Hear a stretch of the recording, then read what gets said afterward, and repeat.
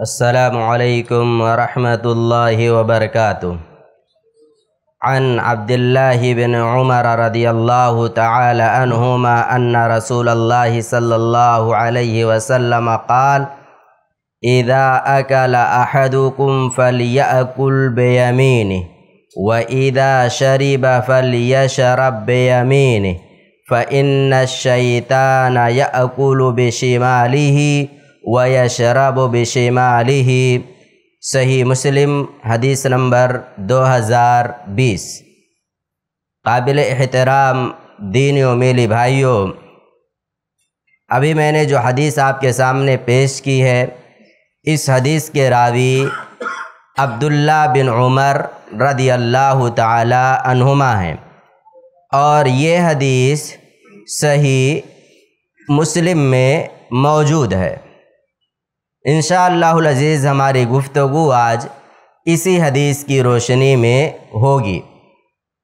सबसे पहली बात इस हदीस के हवाले से आपके सामने ये ज़िक्र करनी है कि अल्लाह के रसूल सल्लल्लाहु अलैहि वसल्लम ने हमें हुक्म दिया है कि जब भी हम खाना खाएँ, जब भी हम पानी पिएँ तो हमें दाहिने हाथ से खाना भी खाना है और पानी भी पीना है।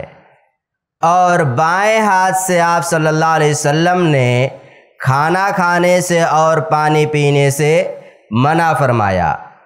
उसके साथ में आपने इल्लत भी ज़िक्र कर दी। वजह क्या है मना करने की? बाएँ हाथ से ना खाओ, ना पियो क्योंकि बाएँ हाथ से खाना पीना ये शैतान का काम है।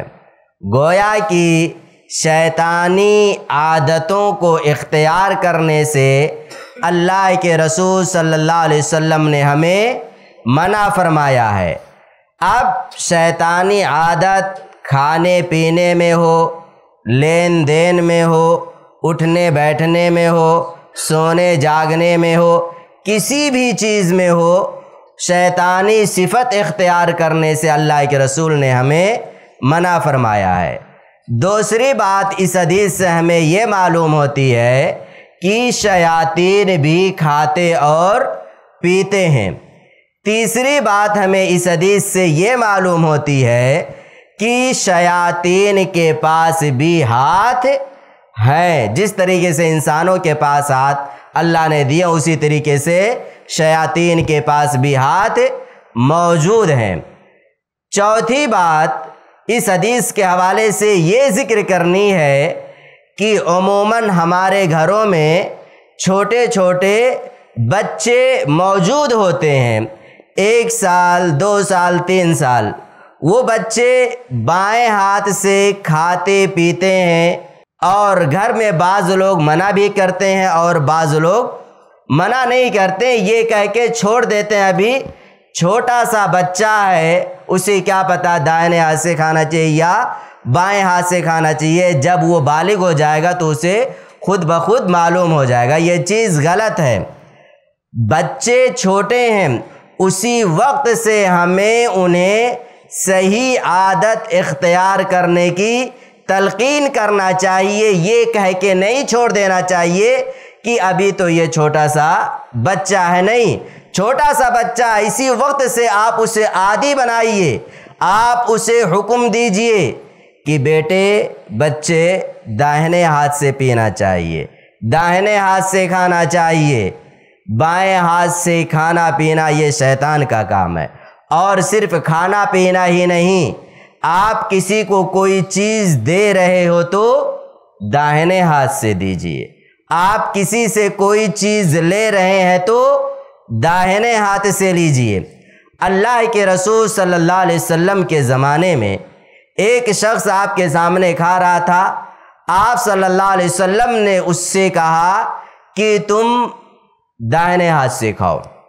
यहाँ पर आप ये देखिए, इंसान जब हदीस की मुखालफत करता है तो उसका अंजाम और उसका हश्र क्या होता है? उस शख्स ने कहा, मैं नहीं खा सकता। तकबर की बुनियाद पर उसने अल्लाह के रसूल की हुक्म की, खिलाफ वर्जी की। आप सल्लल्लाहु अलैहि वसल्लम ने फरमाया, तुम खा भी नहीं सकते। रावी कहते हैं, उसके बाद फिर उसके दाहिने हाथ उसके मुँह तक नहीं पहुँच सके। इस वजह से हदीस रसूल की मुखालफत कभी भी नहीं करना चाहिए। चाहे आप दे रहे हो किसी को कोई चीज़ खा रहे हो, कुछ भी हो, हमेशा क्या कीजिए, दाहिने हाथ का इस्तेमाल किया कीजिए। हदीस रसूल पर अमल करने में हम तमाम इंसानों के लिए खैर है, भलाई है और हदीस रसूल की मुखालफत करने में मुमकिन है कि हम लोग अजाब इलाही से दोशार हो जाएँ। अल्लाह रब्बुल आलमीन से दुआ है आलमीन तो हम तमाम लोगों को अहादीस मुबारक पर अमल करने की तौफीक दे और ज़िंदगी के तमाम शोबों में अल्लाह के रसूल सल्लल्लाहु अलैहि वसल्लम के अहकामात पर अमल करने की तौफीक दे। आमीन। वसलामकुम वरहमतुल्लाहि वबरकातुहू। ऐसे ही फ़ायदेमंद इस्लामिक वीडियोस देखने और मनहज सलफ़ पर किताब व सुन्नत की तालीमत को आम करने में हमारा ताउन करें, ताकि आपके लिए ज़रिया नजात, जन्नत के हसूल का सबब, साथ ही माल में बरकत व इजाफे का ज़रिया भी बने। आमीन। जजाकल्ला खैरन।